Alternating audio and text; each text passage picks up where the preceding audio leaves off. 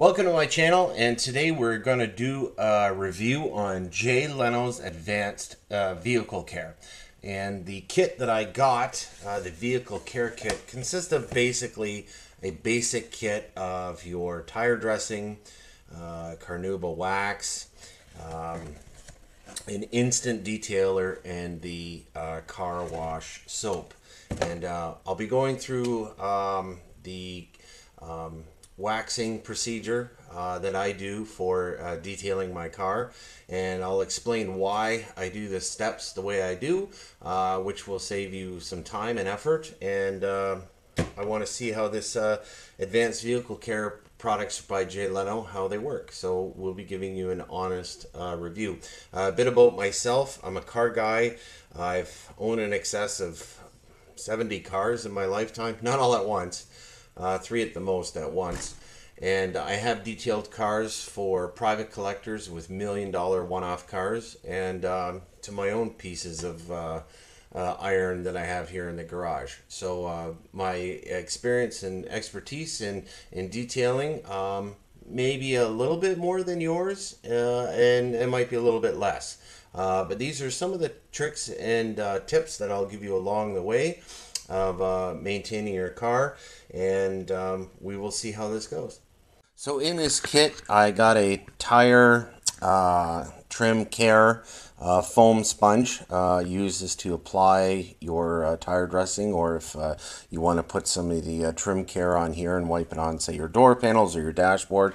A really good quality microfiber cloth. Uh, wax applicator pad which is really soft microfiber. You've got inside here your hand wax, tire and trim care, vehicle wash, and quick detailer. Now today we're only going to be using the hand wax and the tire trim because this vehicle is clean so there's no point in me washing the vehicle. Now, what I have here is a 2010 uh, Camaro RSSS. Uh, not that it makes any difference, um, but the car is eight years old. Um, it is original paint. It does have some spidering in the paint or swirl marks. Um, I don't have any correction uh, cream that Jay Leno sells um, or any of his uh, buffing equipment. Um, but the paint is in pretty good shape, with the exception of you know the door ding or or uh, paint chips uh, from uh, road rash and that sort of thing. But uh, aside overall, the the paint is in pretty good condition for the age of the vehicle. I'm the second owner of the vehicle. I don't drive it in the rain. Uh, it's really just a really Sunday cruiser, so to speak. Um, so, but since I don't have to wash the car, we won't be using the soap. Uh, not on this particular vehicle. We'll just be using the uh, wax and the tire dressing, and we'll go over what I used uh, and the procedures of how I do that. Now, my garage is pretty well lit up, um, and you never want to wash or wax your vehicle in direct sunlight uh, if you're going to do it properly.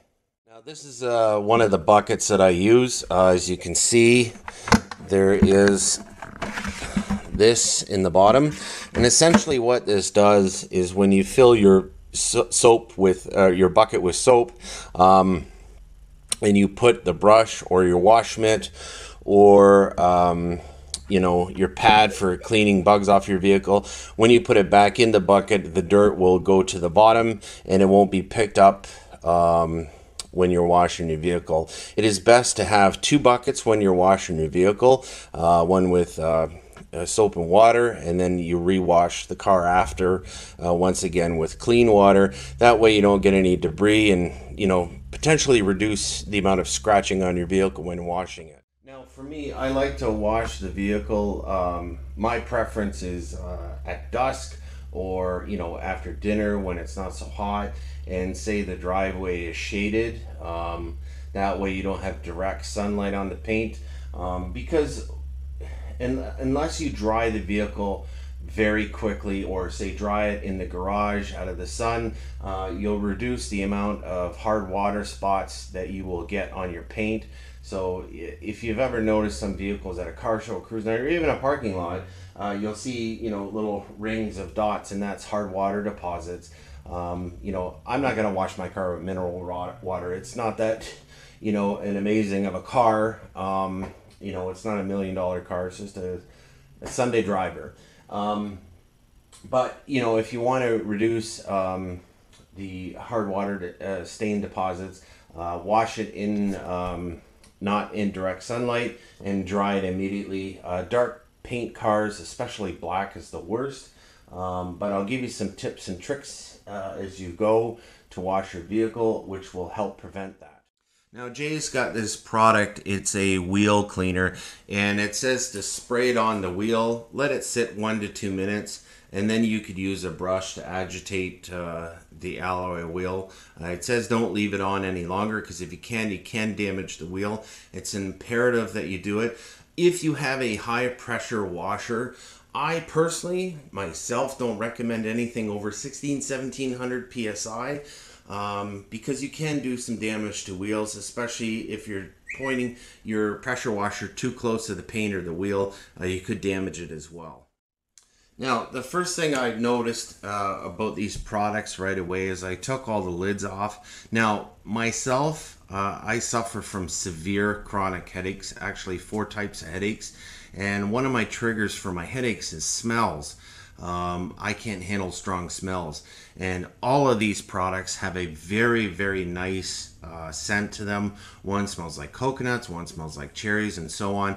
They just have a really nice aroma. I don't know how many times I've bought products uh, off of the store shelf where I've gotten home, sprayed the wheels to clean the, the tires or the rims, started coughing because the smell was so overwhelming and hard on my lungs and very uh, abrasive. Whereas these products definitely have a very sweet smell. They're not hard on the nose and uh, definitely helps prevent any further headaches for me. Another thing that I like to have here in the garage, this is a squeegee. Um, now, when you go to dry your vehicle after washing it, um, and the paint is covered in water, not semi-dry but heavy water, you can use this uh, this squeegee to wipe off the roof um, and the body panels. But you want to do it only in one sweep. You do not want to do it on any type of dry paint because it will smear and smudge and it cuts down on your drying time. Next, I have a couple different chamois. I have one for wheels, one for paint, one for door jambs. I keep them in uh, containers like this because it keeps them moist and uh, that way they don't dry out. But I do wash out my chamois each time I use the wash and dry the vehicle. That way you don't get any contaminants in your paint. Another thing is if you drop your chamois on the ground when drying your vehicle, do not use it. You will scratch your paint. You can get micro uh, dirt and uh, stones and debris in your chamois and scratch your paint and do a lot more damage than good. So essentially, if you drop it, either throw your chamois or immediately uh, wash it out in the sink and uh, make sure you don't uh, scratch your vehicle. Now, another thing I like to do um, once the vehicle is dry, especially if I'm going to wax the vehicle, um, I have an air compressor here in the garage so you can dry uh, all the cracks and crevices to get uh, all the water out of the vehicle. I've even seen people use a leaf blower uh, if they don't have compressed air um, because no matter uh, what you do when drying the vehicle, you'll never get it fully lot, fully dry unless you air dry it. I do know that they make um, uh, air dryers for um, vehicles to dry, but a leaf blower will work, compressed air. Never put it directly on the paint. You want to keep it a minimum uh, one to two feet away and just kind of blow the, the, the water out of the, the cracks and crevices. Um, it'll definitely help you when you're waxing because you don't want water on the wax and uh, that way it'll turn out with a really nice finish. And then the odds of you driving away after you've got your car all nice and clean and having water run down the side of it, uh, that will greatly reduce uh, that problem. So that's something to keep in mind. Um, there's all kinds of crevices. You know, you got your door gas cap in the trunk. Um, when you're drying your vehicle, open the hood, dry underneath the hood, the door jambs, the trunk, and take your time because it will make for a better quality job. I already have some uh, good microfiber cloths. Uh, the kit does come with one, and I'm going to save that one for using the quick detail, which is that essentially that spray wax. But I've got a whole bunch of brand new microfiber cloths. Um, I will be using that, wiping off the excess wax. And uh, saving the other one for uh, just a quick detail, but I do have a pile. Don't buy these at the dollar store. Go to your jobber who sells these for automotive. Uh, they're bigger than the ones you get from the dollar store. They're better quality, and uh, you want to make sure that they're clean. I always give every rag or chamois I use a little shake just to make sure that there's nothing in it, and uh, that will prevent any scratches from when you're detailing your vehicle. Okay, so uh, we're going to be using the Jay Leno's hand wax. Um, it says on here, Jay Leno's hand wax is an advanced carnauba wax system. It is engineered to nourish and protect your vehicle's finish, helps bring back life to clear coat, fiberglass, gel coat in its surfaces. Shake well, apply to a clean, polished area. Apply a small amount of wax onto the Jay Leno's Garage microfiber applicator. Uh, work a small area at a time. Apply directly to the surface on a thin, even layer. Allow to dry to a light haze and buff away the residue in a clean microfiber. Uh, tip, being a car detailer, don't do the whole car. Don't do the whole hood. Don't do the whole roof. Do in small sections. I've learned that uh,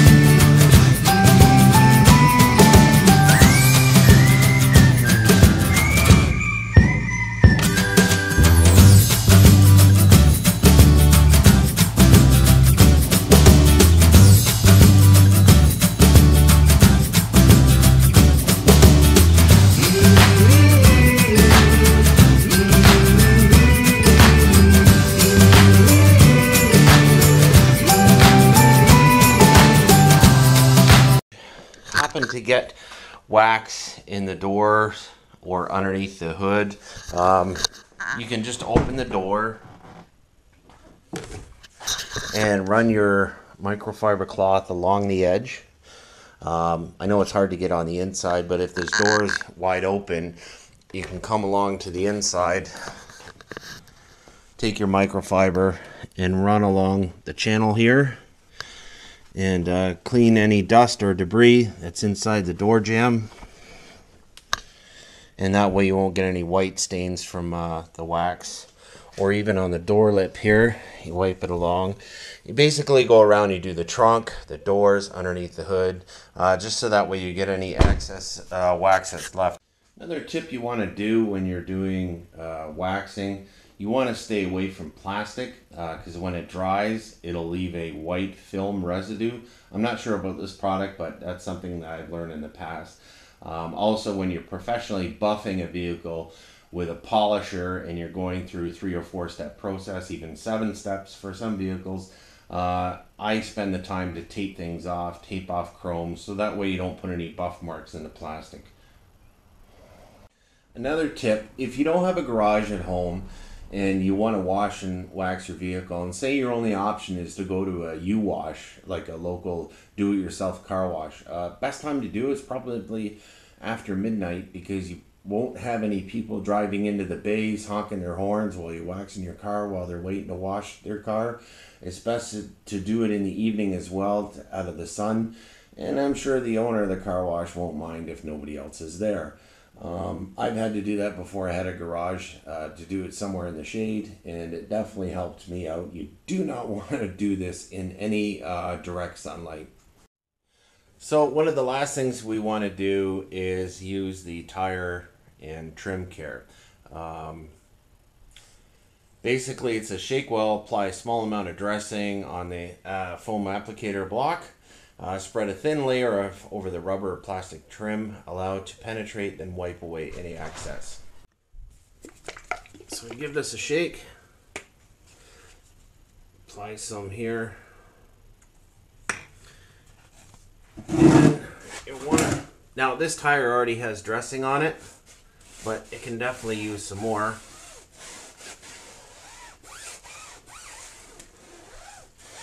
You want to apply it to the contour of the sidewall of the tire and spread evenly. You can see uh, the existing tire dressing that's on there.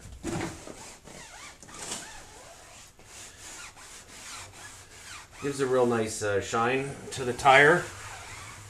And you want to let it dry a little bit before you drive it so that way it soaks into the tire and it doesn't spray on the paint, especially if you've spent all this time waxing the car. I want to give a quick demonstration of the uh, quick detailer, uh, basically what it does.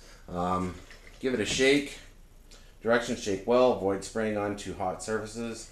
So don't do it uh, out in the sun and um, spray, spray a fine mist in a small area, rub in the surface using clean microfiber towel. So this is a towel that Jay sent me with the uh, quick detailer. Just give it a light mist. Help if I turn it on. You have an option for stream or a spray. I recommend the spray. And again, you see just a very light mist. That's all you need. It's actually more than enough. And then you just want to rub it in.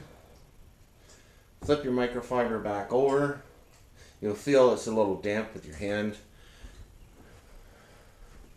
This is great if you're at car shows and you're there all day and you, your your car gets dusty, or let's just say it just sits in the garage uh, all week until you use it next time, and you, you want to just give it a quick wipe down. This is a perfect tool for that. And the last thing you want to do is uh, do the glass.